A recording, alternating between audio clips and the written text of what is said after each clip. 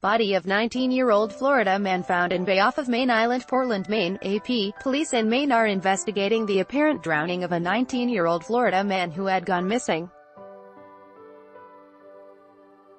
Police were called to Great Diamond Island about the missing man, Maxwell Brown, of Boca Raton.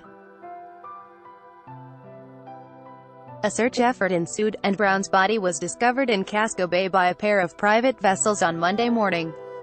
Police say Brown's body will be taken to the medical examiner's office for an examination. By Taboola By Taboola Sponsored links Sponsored links Promoted links Promoted links. Umela Cable Bell This app will have you speaking a new language in 3 weeks. Babbel and Wa Fashionable 10 Great dresses for formal event fashionable undo blinkist. This woman reads 100 books in a month. Blinkist indo it does 10 great cars that almost nobody buys it does undo 10 like as this tech is making smart homes smarter than ever this year. 10 like as unlixworld.info top 9 smartest cat reads. Luxworld.info